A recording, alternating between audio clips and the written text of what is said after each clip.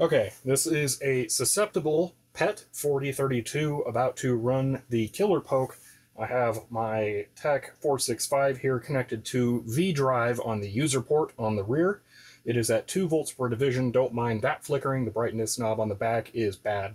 Um, 2 volts per division. It is at approximately 5 volts right now while running normally. I'm going to type 62, hit enter, and then almost immediately shut it off. So I'm going to have to review the footage of what happens here, but this is where the action will be. Hopefully I'm not blocking the camera here. And there we are.